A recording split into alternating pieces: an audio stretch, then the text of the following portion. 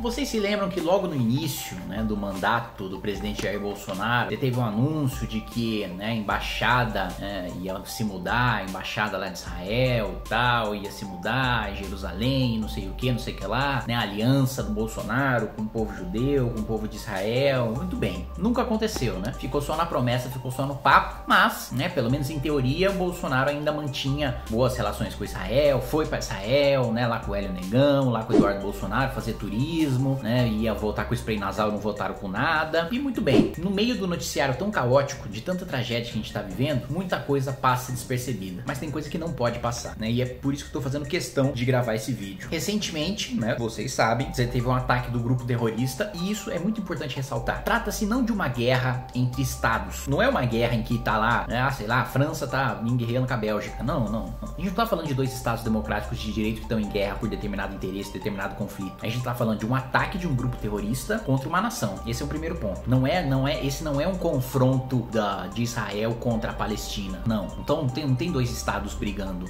Não, não é, é, O que a gente está falando é o seguinte: como 11 de setembro teve um ataque, derrubou Torres Gêmeas, foi considerado um ataque de uma nação estrangeira, um conflito diplomático com uma nação estrangeira e os Estados Unidos tinham que sentar e compor a mesa? Não, porque é terrorista, né? O terrorista negocia com, o terrorista. Terrorista, infelizmente, você precisa lidar né, no bombardeio mesmo, que é a solução que sobra. Muito bem, dito isso, antes de continuar o vídeo, aliás, antes que eu me esqueça, se você puder aí deixar o Iron Dome interceptando mísseis no botão de se inscrever aí no canal, pra vocês é, se inscrever no canal para receber as notificações, não, sim, se inscrever aí no canal, clicar aí no sininho é, para receber é, do Jingle Bell aí para receber as notificações. Se você quiser receber também em primeira mão os vídeos, as notícias e tal, entra no nosso Telegram e também contribua aí do MBL se você puder dar uma força. Como vocês sabem, tudo trabalho voluntário que vocês puderem ajudar, a gente conta muito com vocês. Muito bem. Então teve esse conflito, né? É, é esse ataque terrorista contra Israel e como vocês sabem, o Hamas, que é esse grupo terrorista, utiliza civis como escudos humanos, né? Justamente porque sabem sabem que Israel é um Estado democrático de direito. Aliás, Israel é um oásis de civilização num mar de barbárie, né? O único país ali das redondezas que respeita direitos e garantias individuais, que respeita direitos LGBT, que respeita direito de minorias religiosas, que inclusive tem representação de minorias religiosas dentro do parlamento, que é uma democracia, uma democracia que inclusive aqueles que defendem o fim do Estado de Israel têm voz e tem partido dentro do parlamento parlamento né, de Israel, enfim, né, é uma democracia com D maiúsculo, com direitos e garantias fundamentais preservados, né, como toda democracia deveria funcionar, deveria ser. Foi atacada ali pelo Hamas e reagiu.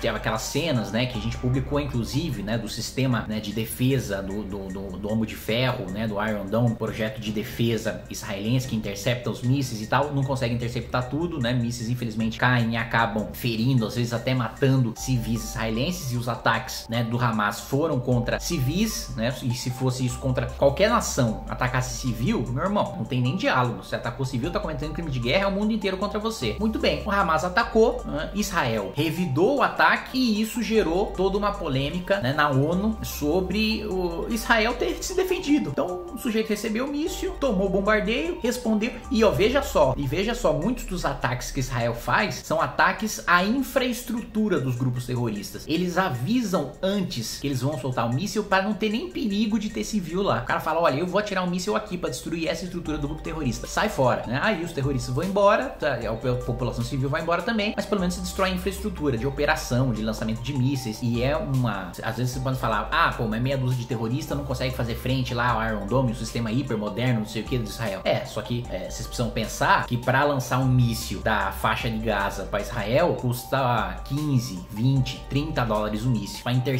o míssil Cornadome já é 500 dólares o míssil. Então não é sustentável isso, né? É para ser utilizado em momentos excepcionais. Chega uma hora que você precisa ter uma ação ativa. Não dá para ficar sendo só reativo, porque simplesmente você não vai conseguir ter estrutura, ter dinheiro para continuar se defendendo. Muito bem. Israel se defendeu e aí a ONU decide abrir uma comissão para ver se uma comissão de inquérito, né, para ver se Israel feriu direitos humanos, né, quando ela estava se defendendo, defendendo seus civis. E eis que o Brasil, né, amigão, né, de Israel, né, o Brasil que tava lá, né? Isso aí, Sam irmão, não sei o que, pá, Shalom. Chegou o governo Bolsonaro e se absteve, se absteve da votação que ab acabou abrindo, acabou se formando maioria para investigar Israel. O Brasil poderia ter ajudado Israel a se defender dessa injustiça da ONU e a gente sabe que a maioria da ONU é anti-Israel, né? Só para pegar alguns países aqui, né, que votaram é, a favor dessa, dessa investigação: Sudão, Paquistão, a Venezuela, né, as Filipinas, o Uzbequistão, a China, Cuba, são os países anti-Israel. E aí o Brasil escolhe se abster, mas peraí, num dos momentos mais importantes, num dos momentos mais cruciais para um aliado de que não é desse governo não, um aliado de eras do Brasil, que é um, um, uma nação amiga que é Israel. A nossa diplomacia escolhe se acovardar e se abster da votação para defender Hamas, para fazer média com Hamas. Se fosse ainda algum país árabe, né, que tivesse atrito com Israel, a gente ainda poderia argumentar não, nós temos relações comerciais, não dá pra gente entrar nessa bola dividida porque isso pode prejudicar o interesse nacional. Ainda poderia ter, ter uma justificativa diplomática que seria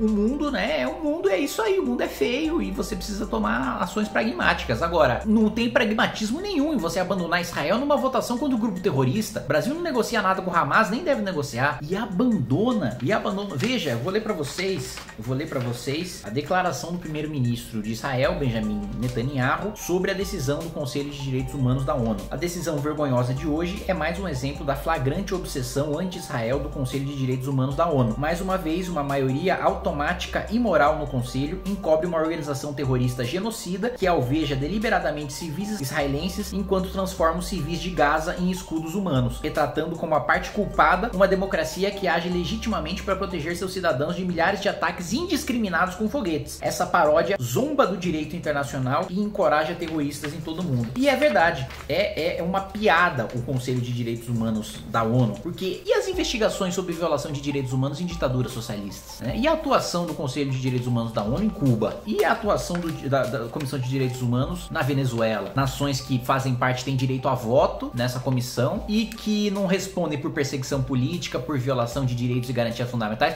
Aí você tá falando, ah, porque o Conselho não fiscaliza a violação de direitos humanos de país socialista, não pode fiscalizar de Israel. Claro que pode fiscalizar de Israel. Agora, num caso de uma defesa muito clara, com imagens documentando ataques contra civis, que eles estavam se defendendo de ataques contra civis, desculpa, meus amigos. Aí não é violação de direitos humanos, não. Isso é legítima defesa. Isso chama-se legítima defesa. Se utilizando das maneiras mais republicanas que se pode imaginar, avisando ainda onde você vai bombardear antes. Então, mais uma traição né, de Jair Bolsonaro, dessa vez, né, ao povo judeu, dessa vez, aqueles que estão em Israel, e que, além de se defender de um grupo terrorista, além de ter gente ferida, quem viu imagens viu gente saindo ferida dos ataques do Hamas, ainda precisa responder do porquê se defendeu de um ataque terrorista. Amigão mesmo esse governo Bolsonaro, viu? Puta, quem tem um aliado desse daí não precisa de inimigo.